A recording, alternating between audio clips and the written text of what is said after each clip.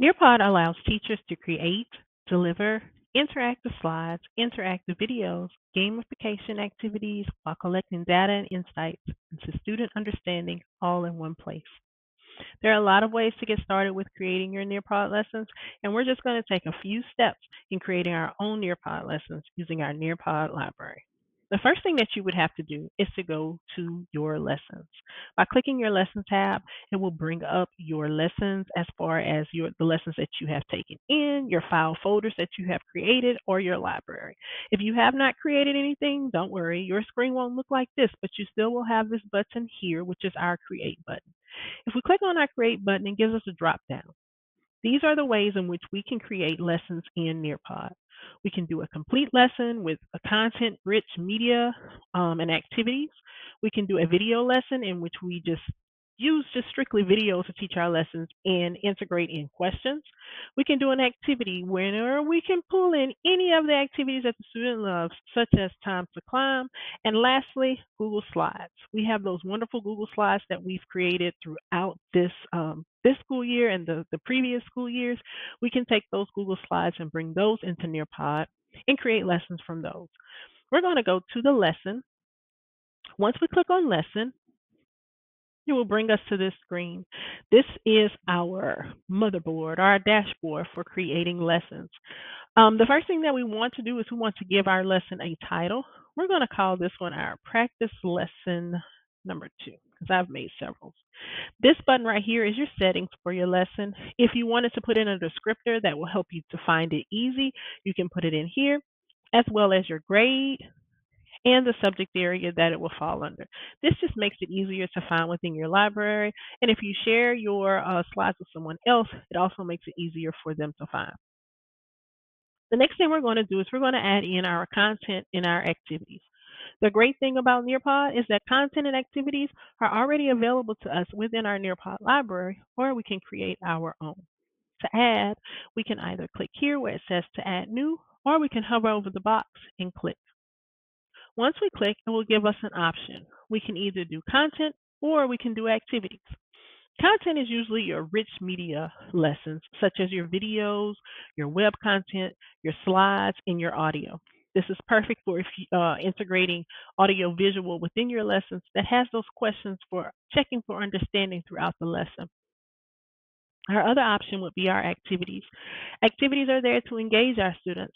The best thing about activities is that you are provided with immediate data and feedback to check your students' understanding, and it kind of helps you to determine which way you're going in the direction of your teaching.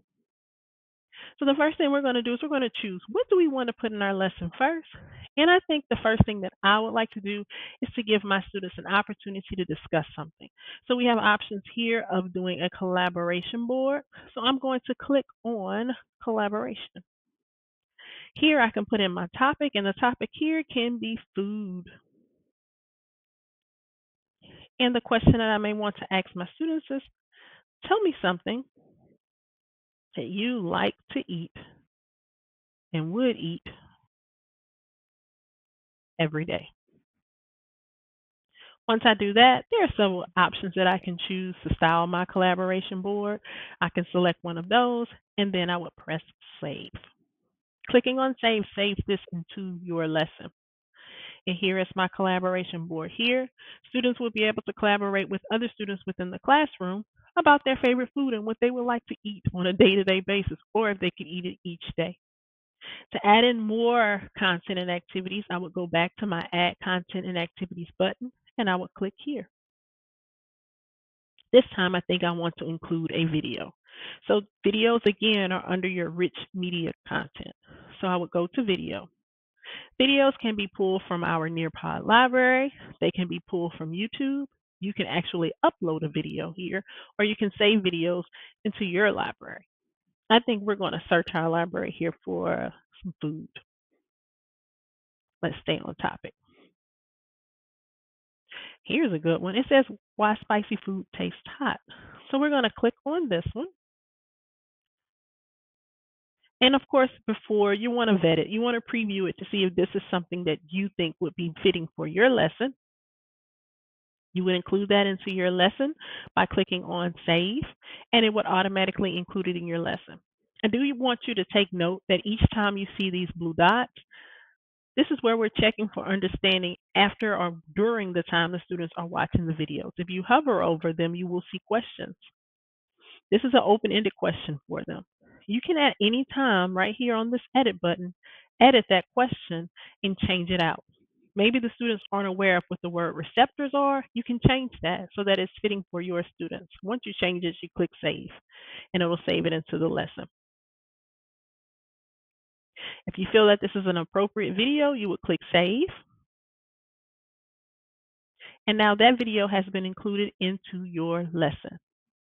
If you wanted to put the video before the collaboration board, these lessons or individual lessons can be moved around within the Nearpod activity.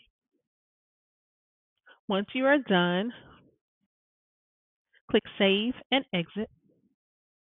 And now your lesson has been added to your Nearpod library. It is now ready for live participation or student participation with your students.